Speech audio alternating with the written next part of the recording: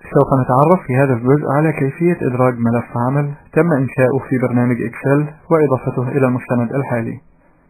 ونبدأ بفتح القائمة Insert واختيار File. ومن الخانة Files of Type نختار All Files لكي تظهر جميع الملفات الموجودة في المجلد المختار. ثم نختار الملف الذي نريده.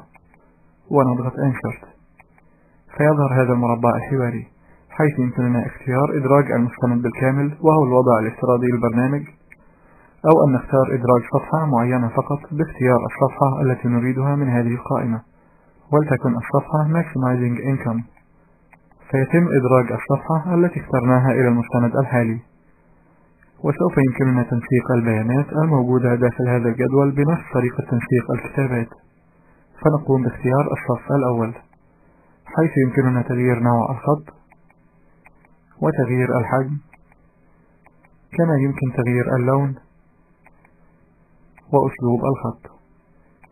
والعديد من التنسيقات الأخرى للكتابات ويمكن أيضا ربط المستند الحالي بالمستند الأصلي في برنامج إكسل. ولعمل ذلك نفتح المستند الأصلي في برنامج إكسل.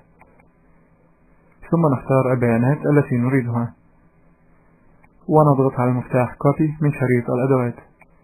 ثم ننتقل إلى المستند الحالي في برنامج وورد ونفتح القائمة Edit ونختار الأمر Paste Special.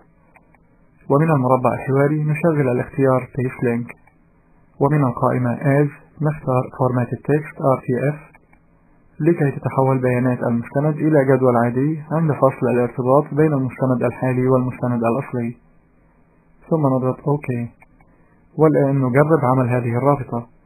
فنعود مرة أخرى إلى برنامج إكسل ونقوم بإجراء بعض التعديلات.